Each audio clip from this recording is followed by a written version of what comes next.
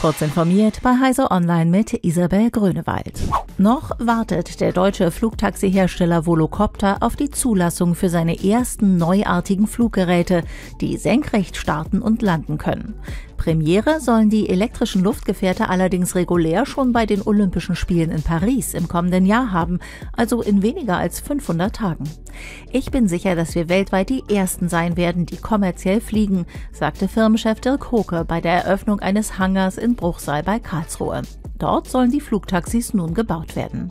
Für den Passagierbetrieb ist laut dem Bundesverkehrsministerium eine Musterzulassung erforderlich. Dies prüfe die Agentur der Europäischen Union für Flugsicherheit derzeit für das Volocity-Modell, das anfangs noch mit Sicherheitspiloten an Bord betrieben werden soll. Microsoft plant, in OneNote-Dateien eingebettete Dateien mit potenziell gefährlichen Dateierweiterungen künftig zu blockieren. Da Cyberangreifer in jüngerer Zeit häufiger auf OneNote-E-Mail-Anhänge, etwa zur Verbreitung von Malware setzen, scheint den Entwicklern des Unternehmens dieser Schritt sinnvoll. Microsoft erläutert, dass durch die geplante Änderung das direkte Öffnen von Anhängen mit potenziell gefährlichen Dateisuffixen blockiert werde. Stattdessen erscheine ein Dialog, der erläutert, dass der Administrator das Öffnen dieses Dateityps in OneNote für den Nutzer blockiert habe. Wissenschaftlerinnen und Wissenschaftler des Massachusetts Institute of Technology haben eine künstliche Hand entworfen, die der menschlichen Hand in gewisser Weise noch überlegen ist. Die Roboterhand kann auf einen Griff das Objekt erkennen, das sie gerade aufgenommen hat. Um dies zu erreichen, hat das Wissenschaftsteam des MIT hochauflösende Sensorik über die gesamte Fläche ihrer dreifingerigen Roboterhand eingebaut.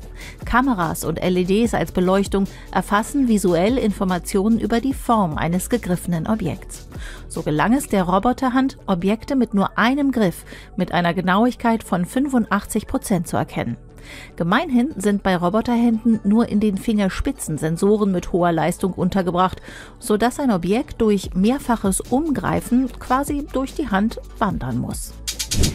Der Gasriese Jupiter und seine Trabanten sind das Ziel der bislang weitesten ins Sonnensystem hinausreichenden Mission der Europäischen Raumfahrtorganisation ESA. Für den 13. April ist der Start der Sonde JUICE vom Weltraumbahnhof Kourou in Französisch-Guyana geplant. Mit ihren zehn Instrumenten an Bord soll sie ab 2031 vor allem einen Blick auf die drei großen Monde werfen. Denn Forschende gehen davon aus, dass es Meere unter dem Eis gibt. Dort könnten die Voraussetzungen für Leben erfüllt sein.